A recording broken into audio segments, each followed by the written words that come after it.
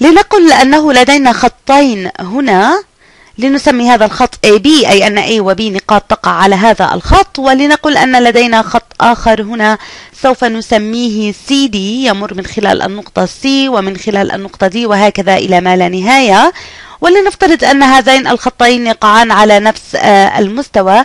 وفي هذه الحالة الشاشة أو قطعة الورق ولا يتقاطعان أبدا. فهما على نفس المستوى ولا يتقاطعان. فإذا كانت هذه الفرضيات صحيحة بأنهما ليسا نفس الخطين ولا يتقاطعان وعلى نفس المستوى فنستطيع القول أنهما متوازيان parallel يتحركان في نفس الاتجاه في الحقيقة نفس الاتجاه تماما فإذا نظرنا لهما آه، من وجهة نظر الجبر فسنرى أن لهما نفس الميل ولكن يمران من نقاط مختلفة على محور واي. إذا وضعناهما على محور الإحداثيات فسوف يقطعان نقاط مختلفة ولكن سوف يكون لهما نفس الميل. ما أريد عمله هو معرفة علاقة الزوايا بالخطوط المتوازية. فلدينا هنا خطان متوازيان. فنستطيع القول أن الخط AB يوازي الخط CD يوازي الخط CD في الرسمات الهندسية يتم رسم سهم هنا للإشارة أنها خطوط متوازية. وفي حالة تم استخدام السهم في مكان آخر يمكن رسم سهمين آخران. الآن ما أريد عمله هو رسم خط آخر يقاطع هذان الخطان. فهذا الخط يقطع كلاهما. دعوني أرسمه أقرب من ذلك. سوف أرسمه هنا وأسميه. سوف أضع بعض النقاط هنا آه، وأسميه L.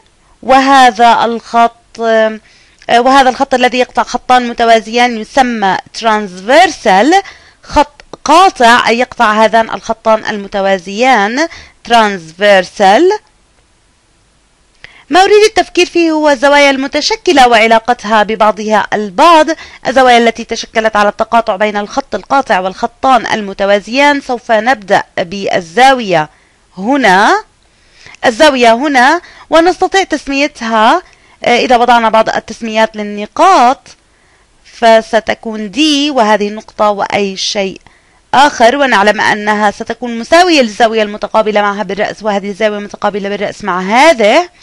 فسوف تكون مساوية لها ونعلم أيضا أن هذه الزاوية الزاوية هنا تساوي الزاوية المتقابلة معها بالرأس أو الزاوية عكس التقاطع.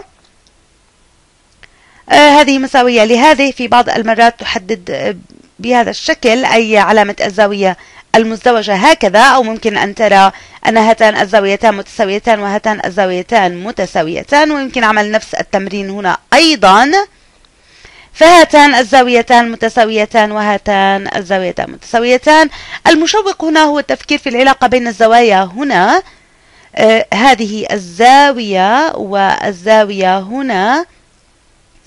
آه هذه الزاوية. إذا نظرت إليها جيدا فسوف تعرف ما هي هذه العلاقة. آه فسوف تكونان نفس الزاوية بالضبط. فإذا آه، قستهما بالمنقلة فسوف تحصل على نفس القيمة لهما فإذا رسمت خطين متوازيين هنا سوف أرسمهما وإذا فرضت أنهما خطان متوازيان ولدي قاطع هنا ما أقوله أن هذه الزاوية سوف تكون نفس قياس هذه الزاوية تماما. ولتوضيح ذلك تخيل إمالة هذا الخط أو نرسم خط مختلف نفس حالة هذا الأول. فإذا أخذنا هذا الخط ونظرنا هنا فمن الواضح أن هذه مساوية لهذه. في الحقيقة لا يوجد إثبات لهذا ولكن هذا ما يسميه الرياضيون بالحدث. فإذا نظرت لهما فسوف تقول أن هاتان الزاويتان متساويتان أو تستطيع قياسهما بالمنقلة. إذا وضعت منقلة هنا فسوف تضع الطرف الأول على نقطة الصفر والطرف الآخر سوف يمثل هذه النقطة. وإذا وضعت المنقلة هنا سوف يحصل نفس الشيء. أحد الأطراف سوف يكون على هذا الخط والآخر سوف يؤشر على نفس النقطة. من هنا نعلم أنه ليس فقط هذه الزاوية تساوي هذه ولكن أيضا تساوي الزاوية هنا. آه، وهذا يخبرنا أيضا أنها تساوي هذه الزاوية هنا. إذا كل هذه الأشياء بالأخضر متساوية. وبنفس الطريقة فهذه الزاوية سوف تكون نفس قياس هذه الزاوية. وهي مساوية لهذه الزاوية لأنه آه، متقابلة أو متقابلة بالرأس. الشيء المهم الذي يمكن استنتاجه أن الزوايا المتقابلة بالرأس متساوية والزوايا المتناظرة على نفس نقطة التقاطع متساوية أيضا. هذا مصطلح جديد سوف أشرحه هنا. هذه الزاوية وهذه الزاوية هما زاويتان متناظرتان. فهما يمثلان الزاوية العلوية اليمنى في هذا المثال عند تقاطعهما؟ وهنا أعتقد أيضا الزاوية العلوية اليمنى أيضا من التقاطع. وهذه سوف تكون الزاوية العلوية اليسرى والزوايا العلوية اليسرى دائما سوف تكونان متساويتان. زاويتان متناظرتان متساويتان. وهذا واضح تماما. الآن هناك بعض الكلمات. سوف يراها البعض. فقد أثبتنا أنه ليس فقط هذه الزاوية مساوية لهذه الزاوية ولكنها أيضا مساوية لهذه هنا. وهاتان الزاويتان دعوني أسميها. البعض يستخدم الحروف الصغيرة لتسمية الزوايا نفسها. فدعوني أسمي هذه A وهذه B وهذه C وهذه D ودعوني أسمي هذه E و F و G و H.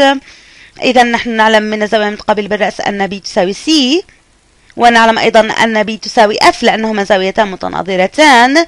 F تساوي G وهكذا الزوايا المتقابلة بالرأس والزوايا المتناظرة متساوية. وأيضا ترون B تساوي جي فنقول أن الزوايا الداخلية المتبادلة هي متساوية. فهم بداخل التقاطع بين الخطين ولكن على الطرفين المتعاكسين من التقاطع أنت غير مضطر الآن لمعرفة هذه الكلمة الزوايا الداخلية المتبادلة.